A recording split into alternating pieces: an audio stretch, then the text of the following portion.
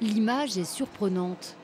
Des peintures du XVIIe siècle exposées en plein centre commercial et derrière le portrait du très majestueux chancelier Séguier. C'est l'élément quasiment le plus cher du costume masculin à l'époque. Donc là, vous avez un super jabot. Un atelier tout aussi étonnant. Les clients se voient proposer une photo ou un selfie à la mode Louis XIV.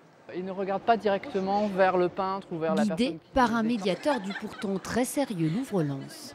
Le selfie, c'était également une façon pour nous de toucher euh, un public plus jeune euh, et d'essayer de faire le lien euh, d'une histoire du portrait depuis le XVIIe siècle jusqu'à nos jours en fait.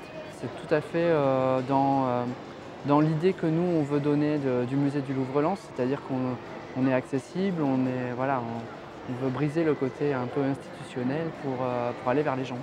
Aller chercher un autre public dans un lieu où il a ses habitudes, au milieu des caddies et des sacs de course, le Louvre-Lens propose ainsi une plongée au cœur de son exposition consacrée à Charles Brun, le peintre de Louis XIV. Voilà. Ok, merci. Jamais été au musée du Louvre, mais euh, là c'est surprenant. Quand, je, vois les, les œuvres, euh, comment c'est exposé, tout ça, comment euh, c'est vachement intéressant. Adéla, elle, a déjà eu la chance de visiter l'exposition. Alors aujourd'hui, elle a emmené sa maman jusqu'à ses ateliers. Parce que j'aime bien Charles Lebrun. Il y a une quinzaine de jours, elle est allée au Louvre-Lens et elle est revenue euh, avec les yeux tout brillants et toute contente. À travers les enfants, les ateliers d'art plastique ou les selfies, le Louvre-Lens explore tous les chemins pour attirer vers l'art.